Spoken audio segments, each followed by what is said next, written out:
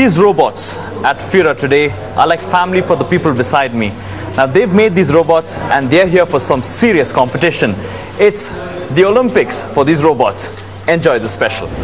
The 15th FIRA Robots World Cup was an event larger than life, and Bangaloreans were thrilled to see robots perform and participate in various events.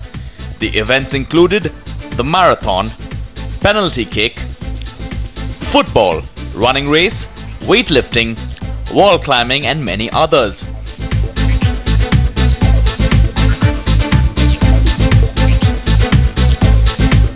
The event saw participants from over 20 nations participating including Great Britain, Slovakia, China, Malaysia, India of course and many others. So in a way it was the robotic Olympics. But I was shocked to see the way these robots played football. It's sometimes amazing how a robot can be made to play football. Now check this out.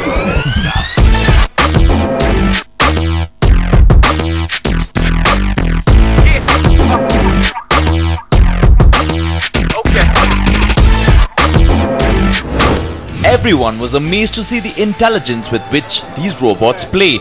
But what was amusing is that it was not just simple acts like shooting a goal that these robots could do, there were more complex tasks that they could take care of. As you can see, I'm ringside to the match being played between uh, Slovakia and Malaysia. And uh, this is the match, as you can see, these are called MiroSots. Now their job is essentially to shoot the goal into their opponent's uh, goal. And uh, it's just like the normal football, the only difference is it's being played by robots. Unbelievable that robots are actually playing football. According to the rules, each team will have 5 MiroSots and 3 human team members.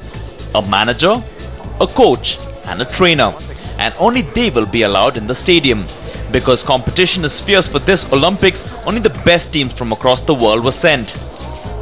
At halftime, this is what the score looked like in this tie between Slovakia and Malaysia.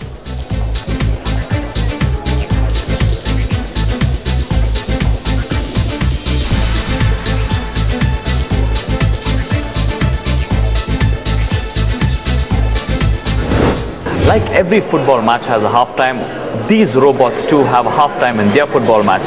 Just take a look at what is happening to these robots. Now, these robots are having their batteries charged so that they can get ready for the next round of the football match. In fact, they also got their wheels cleaned up and also getting toned up for the next round. Now, this part is essential for any robots football match. We'll just wait and see what really happens in the match now. Well, very similar to our real life footballers, don't you think? But now we are sure there's one question lingering in your mind.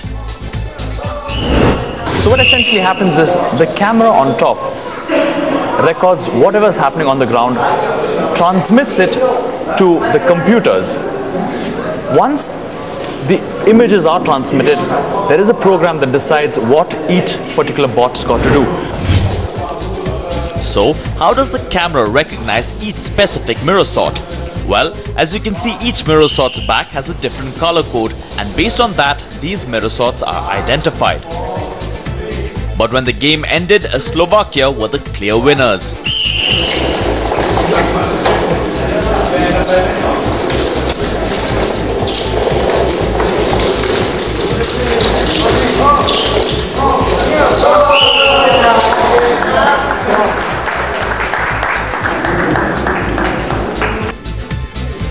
But if you thought that was the only competition, then you're terribly mistaken.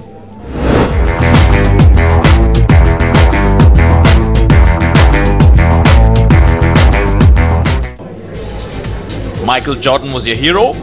Then meet Robo Jordan. Whether it's three pointers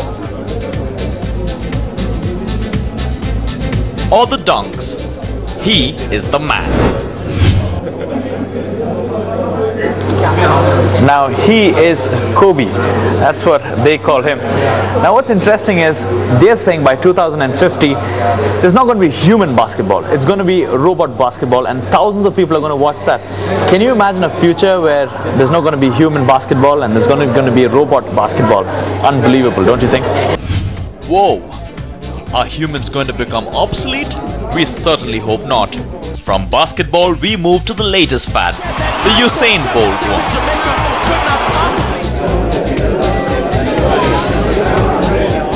But at Amrita Engineering College in Bengaluru, Usain arrived in a different form. And now we are standing track side to the race. In fact, the race has just started and this event is called the sprint wherein these robots have to cross a line and go back. So there's a total of six meters. One way they come three meters and the other way they go another three meters. And if they can do that successfully within their own track, they win.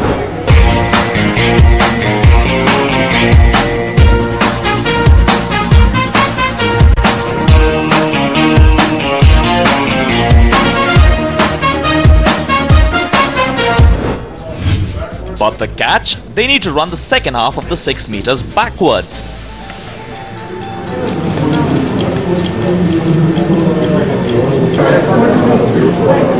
And some robots crumbled under competition pressure.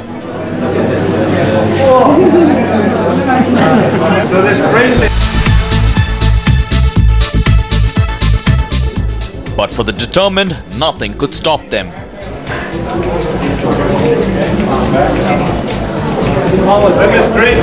This is Gerrard, and he's named after the famous footballer Steven Gerrard. But what's special about Steven Gerrard is that he's the one who nearly broke the sprint record, the six meter sprint record. Now, what I really liked about Gerrard is the way he started. Take a look.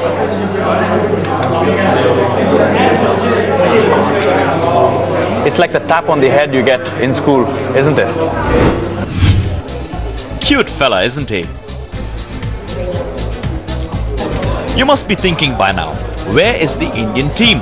Well, we won't disappoint you. This giant humanoid is from the BITS Pilani stable and he is a weightlifting pro. Check him out.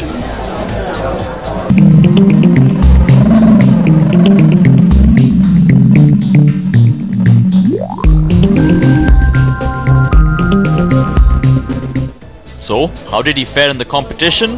We shall surely tell you about that. But just before that, when I asked him for his reactions on if he was tired after the weightlifting competition, this is what he had to say. Now he is Akyut. Now he is the Indian team's weightlifting robot, and in fact he's made us proud. He won the competition, and uh, look at him lifting his hand, saying that he won. Well, quite fascinating, don't you think? Now he's coming back next year, but next time he's going to break the world record in weightlifting. Well, well, can't blame him. He was really tired. So you must be thinking by now, well, these robots seem to be interesting, but will they be of any use in real life?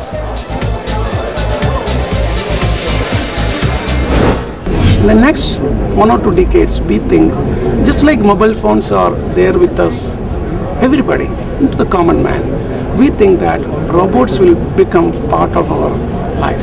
We think just like personal computers, personal robots will be there, and my robot will be talking to your robot, and they interchange a lot of information, data, etc. So we have to live with robots a world where ro- robots and humans have to live in harmony.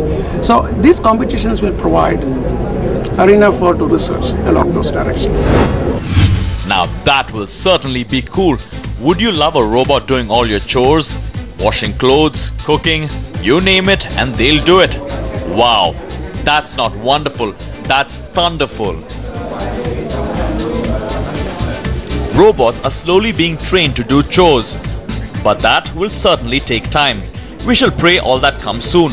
But if you're thinking of buying one soon, then let's listen to the cost.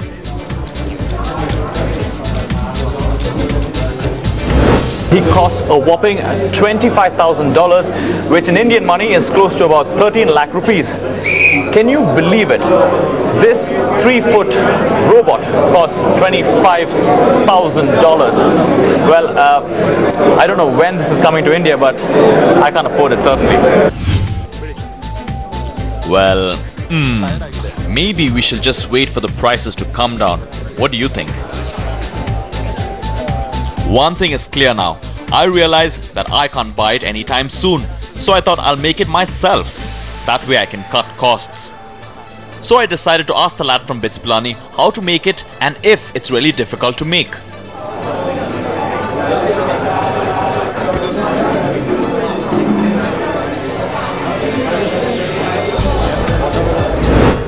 Uh, if I if I tell you frankly, uh, initially you will think it's a rocket science, but if you have your basics and concepts clear, you know you you definitely have to work hard. Like we have been working around 15, 16 hours per day. Yeah, do, you do have to toil hard, but once you get your concepts clear, basics clear, then then then it, then the path is easy. You just have to you know put your brains brain, brains on it. So, I have to work 15 to 16 hours, then it'll become easy? Hmm, not for me. You make the robot, I'll buy it. But that being said, there are people who are looking at the possibility of buying a robot, especially after the trailer of the Rajnikant starrer Enthiran the Robot has hit the television screens across the country. The sci-fi flick has Rajnikant in the lead playing a double role of a man and a robo, along with Aishwarya. He's unbelievable! He's like a superhero! Now that's one robo we're waiting to see. Nowadays, a lot of movies are made with a theme revolving around robots. But what everybody wants to know is what impact will robotics have in our lives?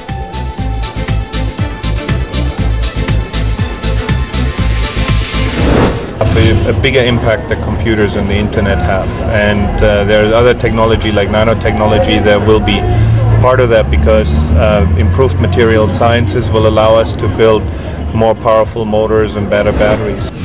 A bigger impact than the computer? Hmm, pretty interesting. Okay, so if it's that important, then let's just take a closer look at a robot. Well, one visible part is the camera here. It has a, a computer which, which runs Linux here, which processes the picture, and we have another com- computer in the back, which, which controls all the legs and the, the arms and the movements. So the, the, the main computer makes the decision, and the secondary computer controls the movements. So unlike humans, these guys have got their brains in their stomach. Hmm, weird. But that being said, we met some young chaps who have some serious brains. Well, the FIRA competition had some great news for us Indians. The team from Bits Pilani managed to win the weightlifting competition in the humanoid category. Oh, and yeah, you're looking at the only humanoid in the country, and it's made by these young chaps. Wonder who's going to be the next Indian Einstein.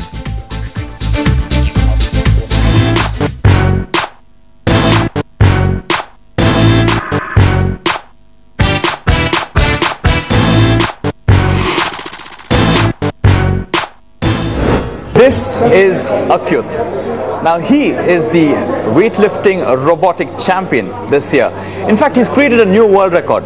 He lifted 40 CDs. Can you believe that? In fact, next year he's planning to lift 60 CDs. Now, this is how he's saying he is the winner this time. Check it out. I mean, I lifted his hand this time, but I switch. If I switch him on, then he'll do it by himself. Well, that's all we have for you in this special with camera person Raghu. This is Anthony Davis for News 9.